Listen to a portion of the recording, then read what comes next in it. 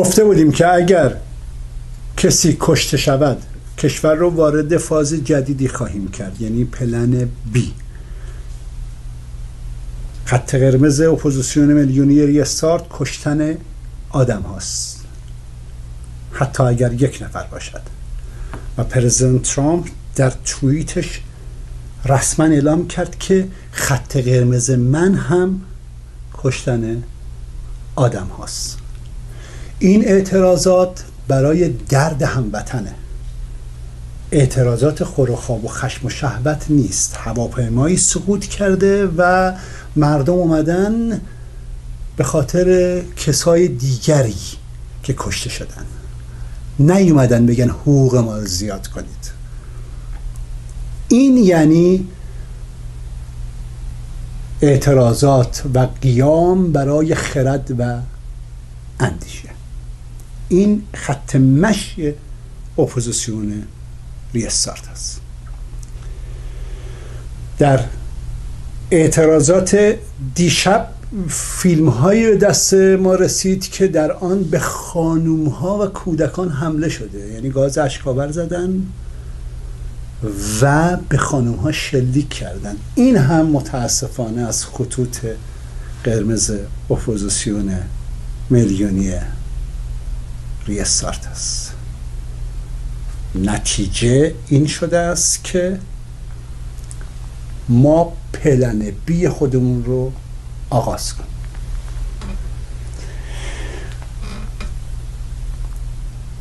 ممکنه بگید که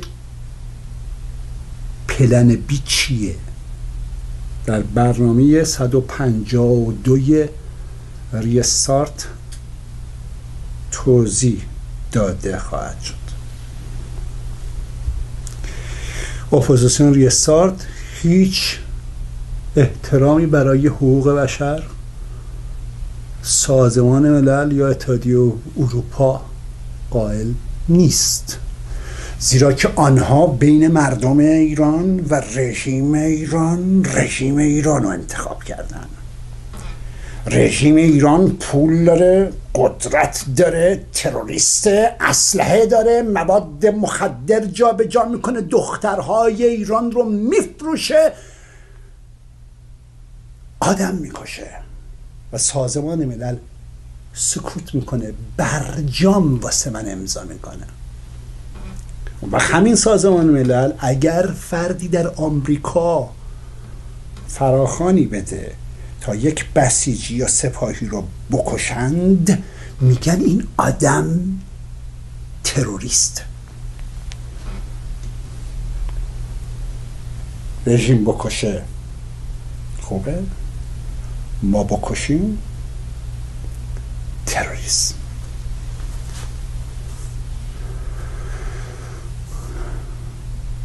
هفتاد دو ساعت دیگه بعد از گذاشتن این برنامه در تلگرام برنامه 152 ریستارت.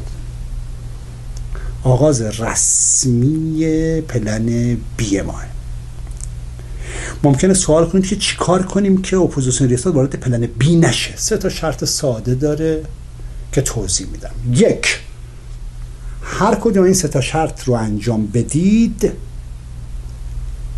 ما وارد plan B نمیشیم. یک اتحادیه اروپا. و سازمان ملل برن پشت تحریم های پرزیدنت ترامپ و سپاه و بسیج را ارگان تروریست اعلام کنن.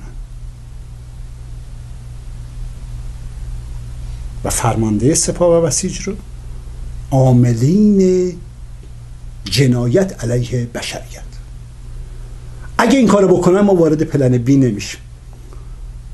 دو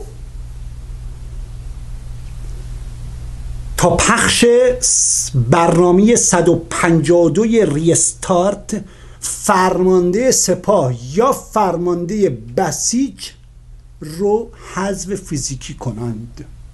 هر جور دلشون می‌خواد. ما قیافشون توی این دو ساعت که میگذره دیگه نبینیم.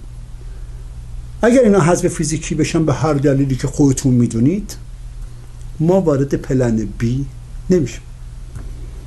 سه. فرمانده بسیج و فرمانده سپاه تروریستی امن در یک شبکه تلویزیونی ایران بنشینن و رسما به ملت ایران بگن ملت ما گه خوردیم اگر این کار رو بکنن باز هم اپوزیسیون ریستارت وارد plan B نمیشه. در غیر این صورت برنامه 152 ریستارت که پخش شد ما دیگه حرف هیچ کسی گوش نمی‌کنیم. ما دیگه به سازمان ملل اعتماد نداریم.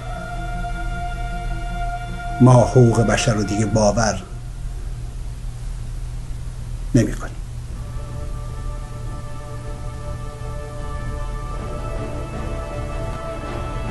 اپوزیسیون میلیونی ریسا فقط یک جمله را می‌فهمد.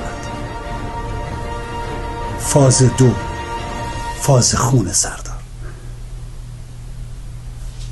فاز دو فاز خون